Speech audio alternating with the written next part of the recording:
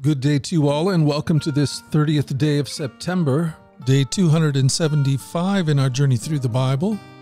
Hello to everyone out there. My name is Hunter. I am your brother, your Bible reading coach, someone who is showing up with you every day to spend some time together in the pages of the Bible. That's right, folks. We are going to do what we do every day. We're going to spend some time now in God's Word. We're going to let His Word spend its time on us. And oh, how we need that, no doubt about that. If you're new to this podcast, just want to let you know that we try and keep it real simple here. We simply read through the scriptures, and over the course of a year, we will read through the entire Bible, the Old Testament once, the New Testament twice.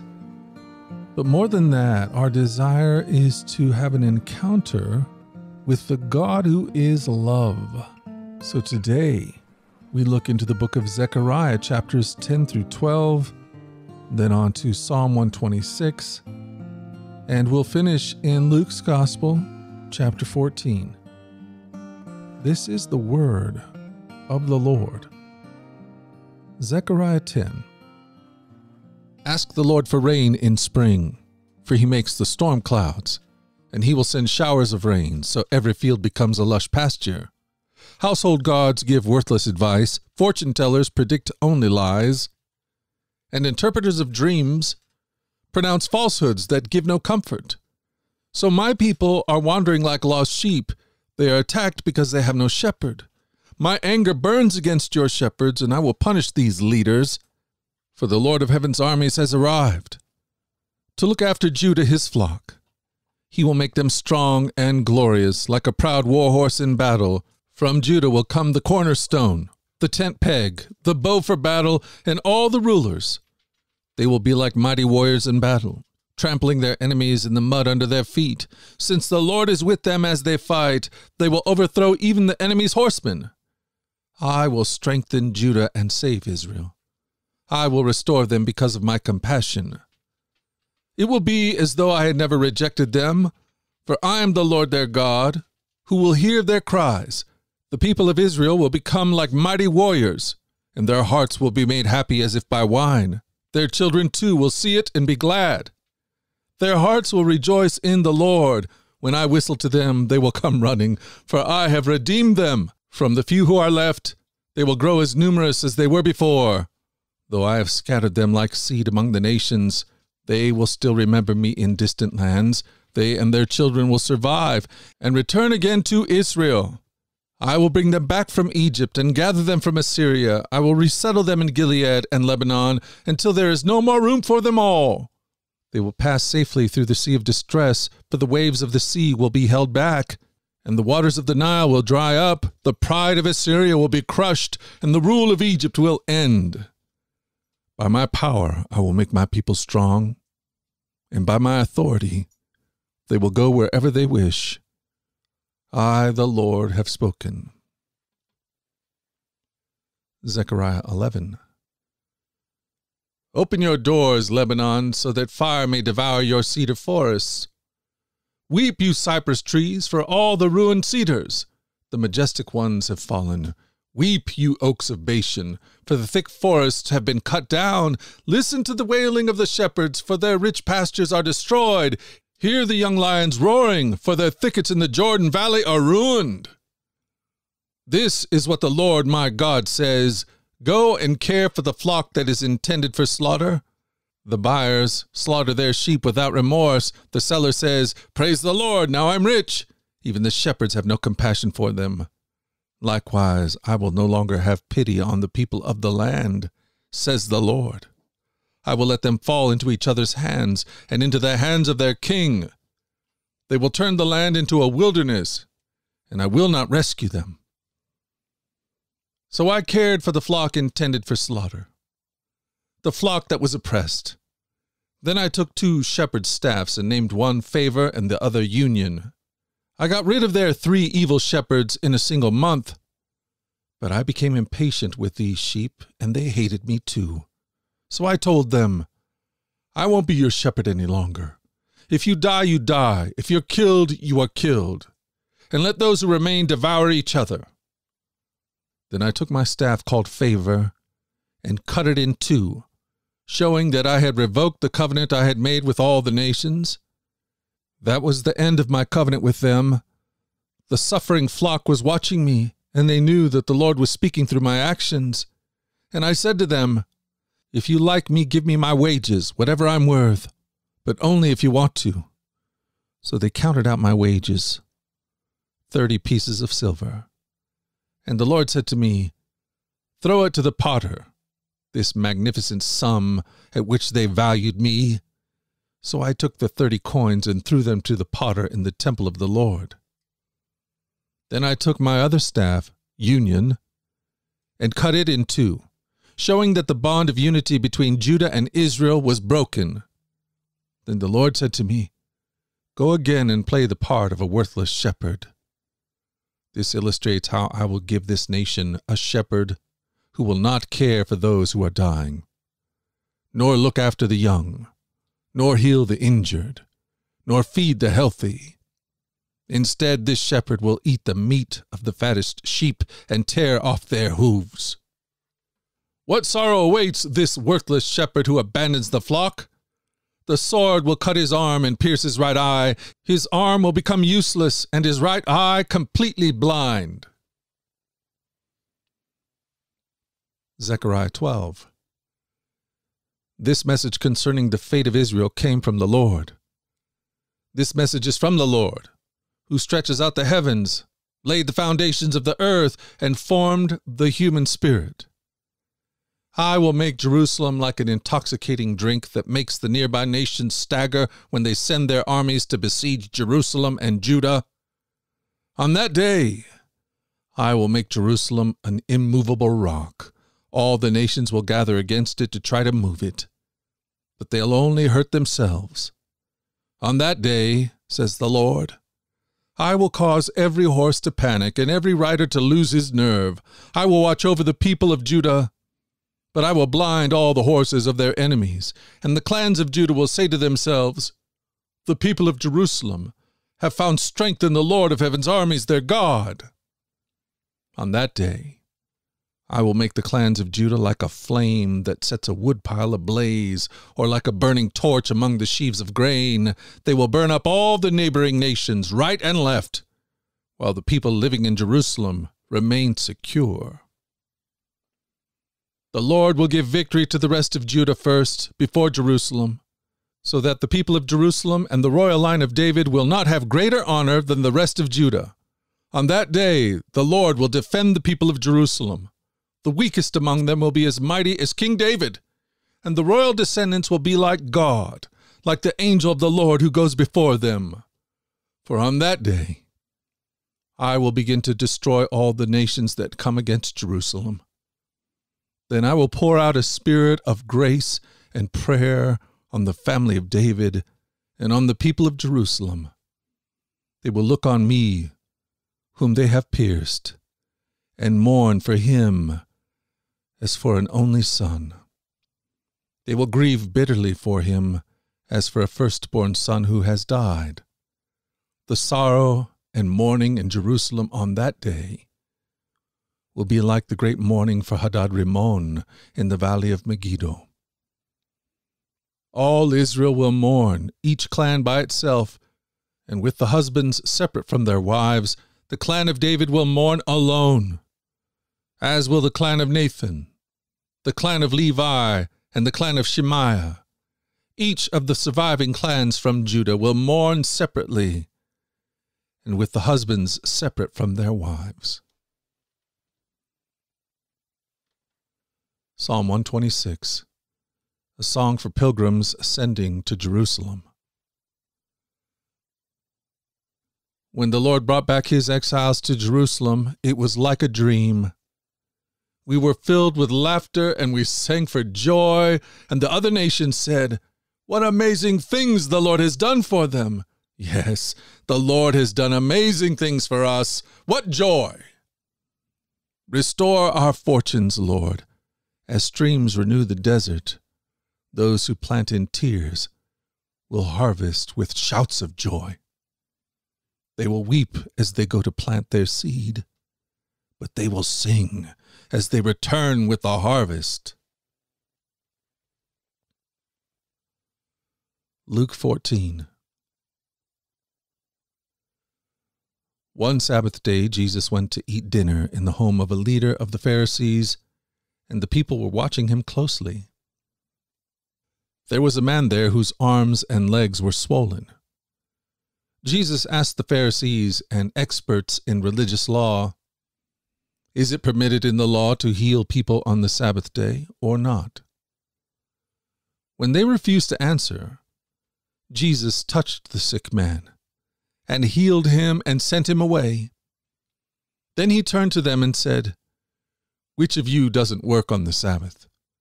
If your son or your cow falls into a pit, don't you rush to get him out? Again they could not answer. When Jesus noticed that all who had come to the dinner were trying to sit in seats of honor near the head of the table, he gave them this advice when you are invited to a wedding feast, don't sit in the seat of honor. What if someone who is more distinguished than you has also been invited? The host will come and say, Give this person your seat. Then you will be embarrassed and you will have to take whatever seat is left at the foot of the table.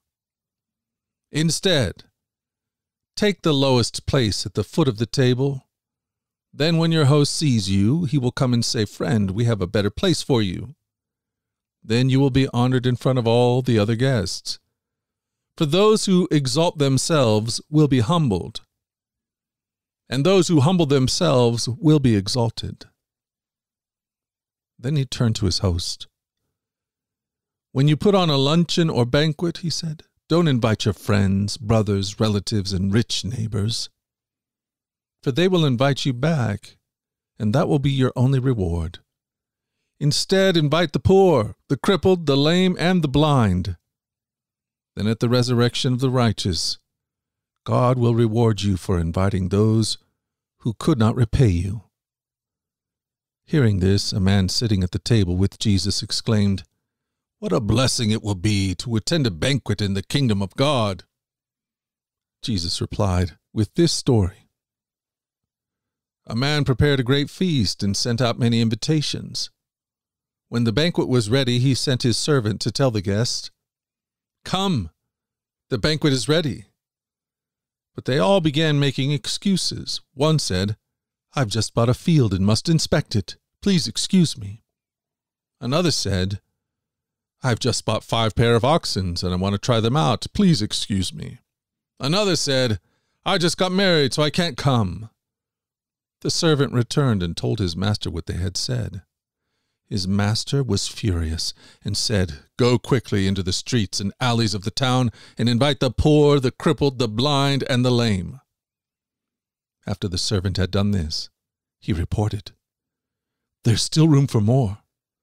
So his master said, Go out into the country lanes and behind the hedges and urge anyone you find to come, so that the house will be full for none of those I first invited will get even the smallest taste of my banquet. A large crowd was following Jesus. He turned around and said to them, If you want to be my disciple, you must by comparison hate everyone else your father and mother, wife and children, brothers and sisters, yes, even your own life. Otherwise, you cannot be my disciple. And if you do not carry your own cross and follow me, you cannot be my disciple. But don't begin until you count the cost. For who would begin construction of a building without first calculating the cost to see if there's enough money to finish it? Otherwise, you might complete only the foundation before running out of money. And then everyone would laugh at you. They would say, There's the person who started that building and couldn't afford to finish it. Or what king would go to war against another king without first sitting down with his counselors to discuss whether his army of 10,000 could defeat the 20,000 soldiers marching against him?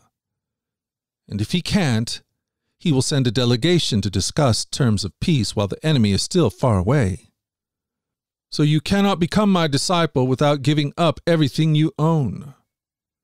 Salt is good for seasoning, but if it loses its flavor, how do you make it salty again? Flavorless salt is good neither for the soil nor for the manure pile. It is thrown away. Anyone with ears to hear should listen and understand. And now, Lord, we ask that you'll open our ears and give your blessing to the reading of this word. Amen. There's a party going on, and it seems like everyone's invited. Eventually. But those first recipients of the invitation valued their own lives above the master's, so they had all kinds of excuses. I've got to tend to this. I just purchased that. This just happened to me. So there's no lack of excuses offered. In the end, these folks were left out of the party by their own choosing and doing. But then the poor, the crippled, the lame and blind, those with no self interest to speak of, respond to the invitation. They had no excuses, they only had gratitude. Right on the heels of this story, Luke tells us that there were crowds that were following Jesus. But Jesus tests these crowds. It seems that they too were there because of their own self interests Jesus had just finished telling the story of people who had gotten caught up on pursuing their own interests over God. Now he has a whole crowd upon him, and he tells them that if they're following him is about self promotion, then they've got him all wrong. One has to hate oneself, he says, and one's own life, like the poor, blind, crippled, lame beggar. These people in the story, they hate their lives. They came to the banquet grateful that they were being invited to a new kind of life, that they were being seated at a table and honored by the Master. This kind of humility is the only requirement to be a disciple and have a seat at the table of God. So Jesus turns around and tells this large crowd of people who are pursuing their own self interests You cannot become my disciple without giving up everything you own your selfish ambition, your own attempts to save yourself, your pasts, your addictions, your pride, your arrogance. You've got to give up everything you own and hate it. And when you do that, the power to give up everything that owns you will be yours. There's so much that owns us. Our need to be recognized, our pride, arrogance, our past, our shame, these things can own us, but Jesus can set us free. He invites us to the table he wants us to recognize that indeed we are poor and blind and miserable and beggars. But we've been invited to the banquet. When we respond and come to his table, all that once owned us will be no more. We will be seated with him at his banquet. We will be made new. May we recognize who we are apart from him. There's an invitation to come, though, to him at His table and experience who you are in Him. And that's the prayer that I have for my own soul. That's the prayer that I have for my family, for my wife, my daughters, my son. And that's the prayer that I have for you. May it be so. And now, let us pray. Lord God Almighty and everlasting Father, you have brought us in safety to this new day. Preserve us with your mighty power, that we might not fall into sin or be overcome by adversity. And in all we do, direct us to the fulfilling of your purpose through Jesus Christ our Lord. Amen. Dear Lord, you have made of one blood all the peoples of the earth, and sent your blessed Son to preach peace to those who are far and those who are near. Grant that people everywhere may seek after you and find you. Bring the nations into your fold. Pour out your Spirit on all flesh and hasten the coming of your kingdom. Through Jesus Christ our Lord. Amen. And now, Lord, make me an instrument of your peace. Where there is hatred, let me sow love. Where there is injury, pardon. Where there is doubt, faith. Where there is despair, hope. Where there is darkness, light. And where there is sadness, joy.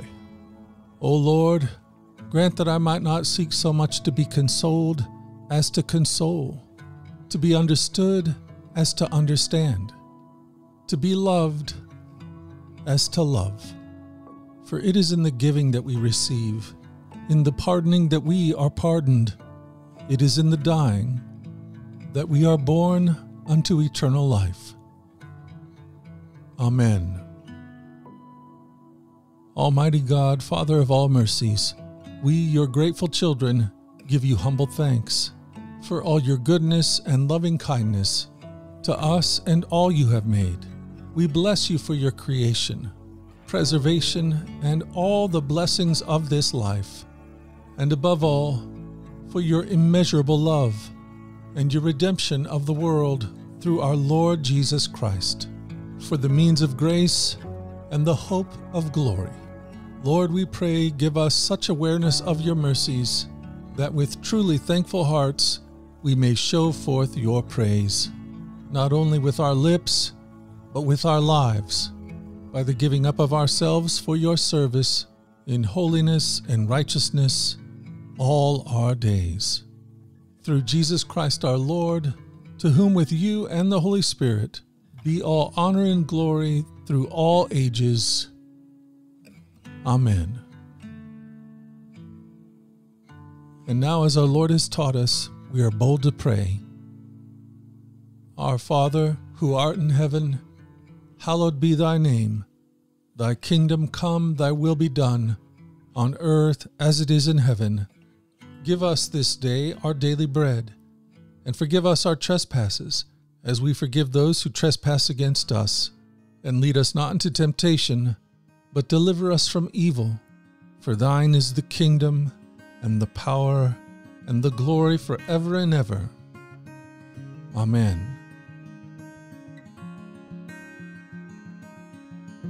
Well, hey, hey, what do you say, DRB family? I hope that you're doing well out there. Here we are at the very beginning of a new month. How about that? And these months are happening at a pretty fast clip. Before you know it, the year will be done and we'll be charging ahead into 2025. Incredible. Well, I don't want to get ahead of myself. I think I should probably live the rest of this year one day at a time and we're going to do that by God's grace. We're going to take it as it comes, my friend, one day at a time. And by God's grace, He'll use even little things like this, what we're doing right here, to shape our hearts into something that resembles Jesus, so that we, as Jesus people, can head off into our days being a light, being a source of encouragement and hope being a friend, being kind, being hopeful, being faithful, being all those things that we see so well in Jesus. That's my prayer as we spend this time together in these scriptures, that they will shape us. And I'm convinced more and more that it's not just the Bible that shapes us. No, it's relationships, it's others. It's God's presence in others, God's presence in the world. It's your own giftings, the way that He's equipped you to hear and to understand and to be who you are.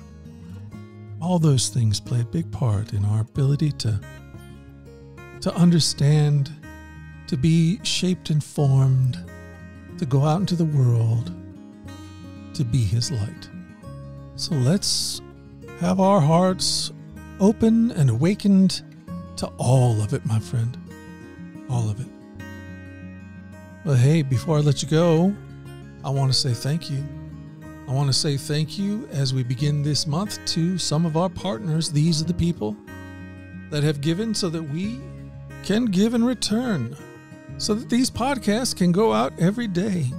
I want to say thank you to folks like my old college and family friend, Michelle Crouch, and Aaron Lee, Melissa Menini, Robert Hadula, Florence Atiega, Bob and Sue Bastiani, Michael Shearman, John Peralta, Kyle Paulson, Nancy and David A. Dean, Joetta Sanders, Janice Childers, David Strisick, Vanessa Kaufman, Naomi Gonzalez, and Karen McBride. Blessings to you, my sisters, my brothers, my co laborers here in this work of the Lord.